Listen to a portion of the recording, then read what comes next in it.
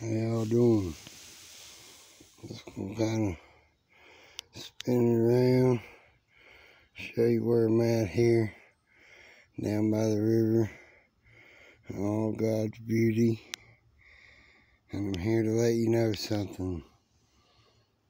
The saints ought to be rejoicing because the Lord, He's coming soon. It's December on the new moon in Hanukkah, right around midnight. He's going to light up the sky, and every eye on earth is going to see it. Governments will lie and call it mass alien abduction of all the bad people and all that good crap, but that's not going to matter to me because when the Lord lights up the sky, the dead in Christ will rise first, and then believers who are still alive will be instantly changed just like that and we'll be gone. Our clothes, our tooth fillings, our pacemakers, whatever physical we have will be left behind and our bodies will be gone without a trace. We'll just be gone and the world will fall for the Antichrist lie. But that's for after the fact. Saints, rejoice. The Lord is coming. He promised me I won't. Yeah. Everybody see the jet ski.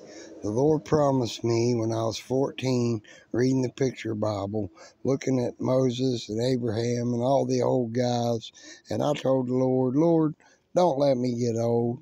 And he kind of laughed at me and asked, What age is old, son? And being young, I started to say about 40. And I thought twice and I told him 50. I didn't want to be 50 because 50 is old. Well, he laughed good and loud. And then he said, Don't worry, son. You ain't going to see 50. And immediately I asked, because I'm curious kid, I asked him, I'm going to die before I'm 50. And he laughed again, longer and harder. And this time he said, I didn't say a word about you dying, son. And so I understood what he meant. The rapture is before I'm 50 years old. Well, I turned 49 in February. And so biblically, it's going to be during Hanukkah because Jesus told the Jews he'd ruin their feast of celebration and turn it into mourning.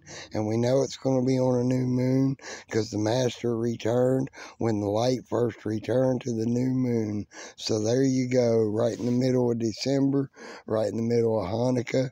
Here we go, church. It's time to start rejoicing. Hallelujah to the King of Kings and hallelujah to the blood of the Lamb.